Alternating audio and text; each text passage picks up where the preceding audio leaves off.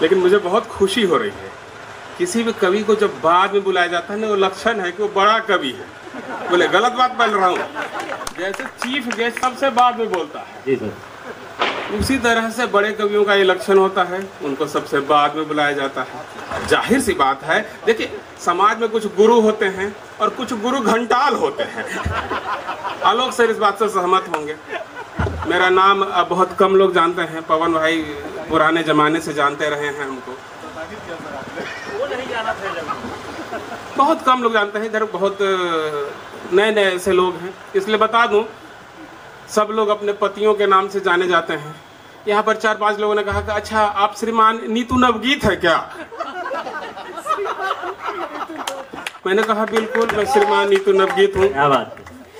सारे कवि लोग भी उसी रूप में मुझे जानते हैं। प्रेरणा जी भी देखिए मुस्कुरा रही हैं, क्योंकि वो भी मेरा मूल नाम नहीं जानती हैं। लेकिन यह चलता रहता है, क्या कीजिएगा? और जब से मैं श्रीमान नीतू नवगीत हुआ हूँ, वो भी उसी भूमिका में आ गई हैं। बाकी लोगों को उनके पति यहाँ छोड़ कर गए हैं। मुझे मेरी पत्नी ने यहाँ छोड़ा है? पूरा मुआयना किया। और जब वो निश्चिंत हो गए कि आलोक राज सर भी आ रहे हैं, आलोक राज सर भी आ रहे हैं तब मुझे छोड़ करके गई है कि यह जगह सुरक्षित है। अभी भी आप हम आपकी इस प्रतिभा से वाकिफ नहीं थे और सर मैं तो डर रहा था आपके सामने कविता सुनाने से। पुलिस से मुझे बहुत डर लगता है। मुझे और पवन भाई दोनों को बहुत डर लगता है। पवन भाई को क्यों डर लगता है इसका कारण तो वो बताएँगे। लेकिन मैं सिर्फ़ एक ही बात से डरता हूँ। कवियों को जब गुस्सा आता है तो कविता लिखते हैं। समीर भाई भी वही काम करने लगे। हमारे पास शब्द होते हैं, सर तो शब्दों से क्या करेंगे? आप कविता लिखेंगे, गुस्सा आएँगे तो। लेकिन यदि पुलिस वाले को गुस्सा आ गया तो क्या होगा? उनके पास तो शब्द होते नहीं, कुछ और होता है। उसी का प्रयोग होगा, सर। जिसके पास जो चीज़ है, पत्रकार को गुस्सा आता है तो शब्दों का इस्तेमाल करके आपके खिलाफ आर्टिकल लिख देंगे। लेकिन सिपाही जी को गुस्सा आ गया तो उनके पास डंडा होता है, दे दनादन, पवन भाई गवाह हैं। इनके पास कार्टून है तो दो चार कार्टून बना देते हैं। यह क्रम चलता रहता है। आज मुझे कहा गया है, कविता सुनाइए। मेरा अभी ट्रांसफॉर्मेशन का दौर चल रहा है थोड़ा सा। ट्रांसफॉर्मेशन मतलब होता है ना, एक जमाने में समीर भाई हमारे बॉस हुआ करते थे हमसे बर्तन धुलवाते थे। हमने कहा, कारीगर भी बना दो भाई, ये खाना बनाते थे हमसे बर्तन धुलवाते थे। बोले कि नहीं, कारीगर बनने के लिए पाँच साल बर्तन धोना ज़रूरी है। अच्छा शेफ वही होता है जो बर्तन धोए। बाद में मैंने इनके शागिर्दी छोड़ दी। दुष्परिणाम यह निकला कि अब लगातार बर्तन ही धोए जा रहा हूँ। अच्छे गुरु को कभी छोड़ना नहीं चाहिए, लेकिन 2000 ईस्वी में मैंने इनको छोड़ दिया, और तब से बर्तन धोने का क्रम जारी है। 2000 में एक काम और मैंने किया। मैंने पत्रकारिता छोड़ दी। कलम मेरे साथ हुआ करती थी। कलम के साथ साथ कुछ कलम वालियाँ भी साथ साथ घूमती थी। मुझे भी खुशी होती थी कि अरे देखो, इतने लोगों को मैं इंट्रोड्यूस कर रहा हूँ पत्रकारिता में। वह दौर भी चला गया। और जो बच गया, वो रेल का बड़ा सा इंजन था। अब घर से निकलूं, घर में आऊँ तो बर्तन धोना है, और घर से बाहर जाऊँ तो सीटी की आवाज़ सुननी पड़ती थी। मैंने रेल को कई बार कहा कि सीटी इतना मत बजाया करो। ड्राइवर को भी बोल, बोला कि नहीं सर, आप हैं तो ज़रूर बजाएँगे। यदि आप ना होते तो ना बजाते, आप हैं तो सीटी ज़रूर बजाएँगे। और ये क्रम जो है सो जीवन में चल रहा है। और चूँकि मैंने कहा कि ट्रांसफॉर्मेशन का दौर चल रहा है हास्य कविता के दौर में मैं आना चाह रहा हूँ। और पहले मैं गंभीर कविता लिखता था। स्वागत। पहले मैं गंभीर कविता लिखता था। और दुर्भाग्य देखिए जो भी बड़ा आदमी ना बड़ा काम जब करना चाहता है ना तो उसका दुर्भाग्य उसका पीछा नहीं छोड़ता है लोग सर। पत्नी मुझे यहाँ छोड़ गई और कविताओं की डायरी अपने साथ लेकर चली गई। साजिशें सर लंबी है आपके खिलाफ। बहुत साजिश है भाई। यही हाल यहाँ भी है।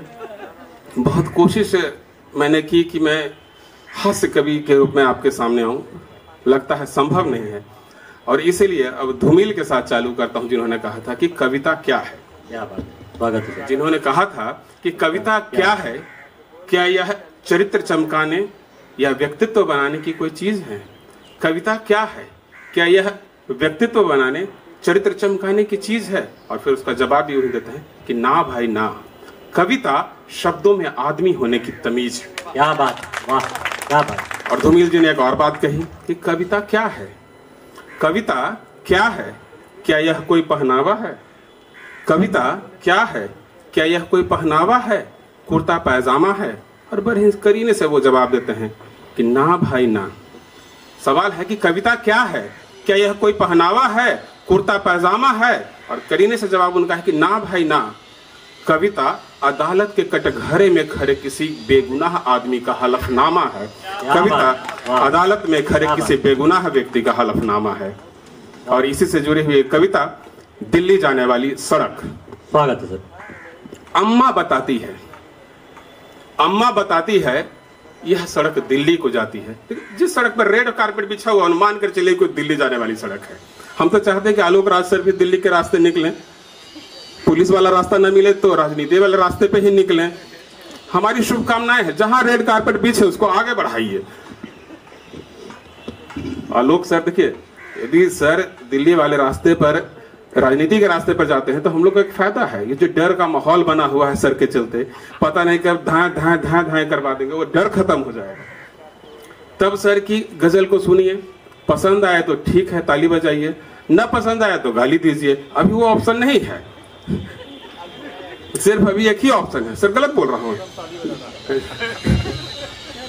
हमारे साथ ये आप लिबर्टी ले सकते हैं रेल का आदमी हूँ, क्या करूँगा? आपके ऊपर ट्रेन थोड़े चढ़ा दूँगा।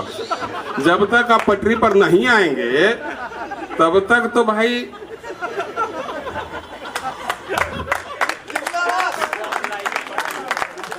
तो यही सर मैं कह रहा था कि अम्मा बताती है, यह सड़क दिल्ली को जाती है। दिल्ली, जो देश की राजधानी है। सामान्य ज्ञान की बात आप सबको मालूम ही होगा, पवन भाई को छोड़ कर करके उनको मैं लिबर्टी देता हूँ। उनका जी की थोड़ा सा कमज़ोर है, आज से बहुत पुराना खिलाड़ी है वो। बिहार की राजधानी पटना है, इसके आगे बोलते हैं कि हमको पटना के आगे जने नहीं है तो तुम कितना भी बताते रहो, हम जान के करेंगे क्या?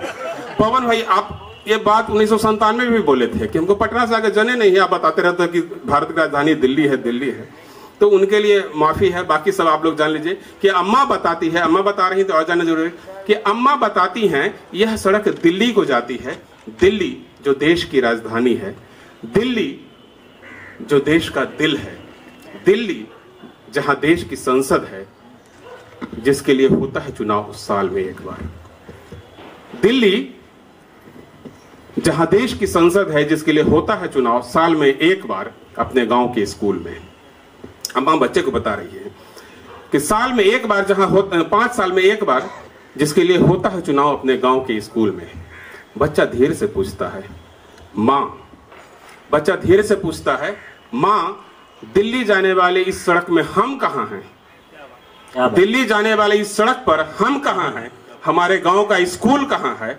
हमारा गाँव कहाँ है। दिल्ली जाने वाली इस सड़क पर हम कहाँ हैं? हमारा गाँव कहाँ है? हमारे गाँव का स्कूल कहाँ है? अम्मा खामोश रह जाती है। दिल्ली जाने वाली सड़क पर पड़ी किस बोरी की किस फ़ाइल में वे दबे पड़े हैं, बता नहीं पाती है। अम्मा खामोश रह जाती है। अम्मा खामोश रह जाती है। बहुत बहुत धन्यवाद।